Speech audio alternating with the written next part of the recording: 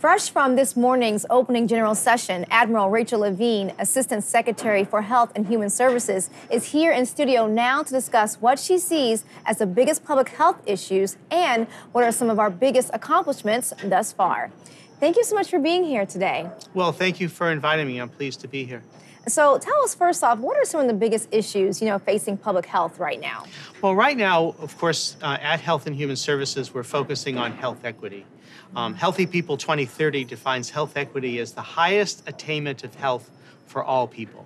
And that really informs, under Secretary Xavier Becerra, much of our work at HHS. So we are working, for example, on the impacts of climate change on health. Uh, with a new office of climate change and health equity. We're working on environmental justice. The impacts of long COVID on communities and populations, again, with that health equity lens, um, food and nutrition security, and much more. Are there other issues that you want to tackle or that you think should be really something that we should focus on? Well, we are absolutely focusing on the impacts of climate change on health. Um, and we have seen that in the United States and around the world. That can be extreme heat, it can be uh, fires with the resulting smoke that we saw for the first time ever in New York City and in Washington, D.C., um, sea level rise, and storms that are exacerbated by climate change.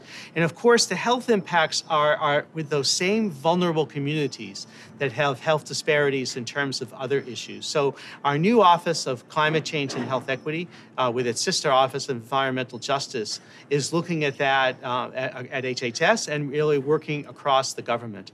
Um, we're going to COP28 mm-hmm. uh, in Dubai at the United Arab Emirates to work on this globally as well.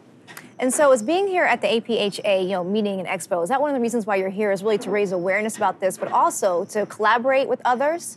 That's exactly right. So APHA is such a fantastic um, organization, and its meeting is so large with you know with thousands and thousands of members. It's a great opportunity to collaborate, to talk about these type of ideas.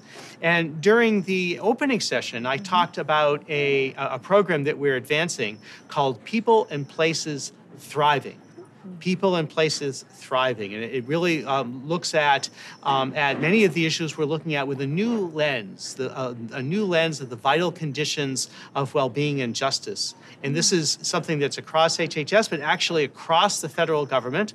And I was very pleased to introduce this topic and this program and initiative at APHA today.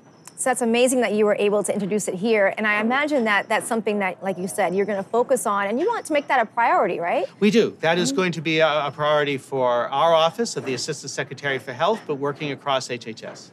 And so, do you have anything you want to say to those that are in the public health sector or those that may watch this? You know, what do they need to know about anything going forward? Well, the impacts of COVID 19 have been so significant, um, and the acute impacts of COVID 19. And they have shown us the depth and breadth of the health disparities that exist in our nation, particularly for communities of color, but also for other communities, for example, the LGBTQI plus community. And so, you know, we have to we have to address those those health disparities. We have to take this health equity lens. I'm a positive and optimistic person, and I think working together um, with uh, federal, state, local public health officials, internationally as well, that we can address the challenges that we face now and in the future. Thank you again so much for being here, and we appreciate it. My pleasure. Thank you very much.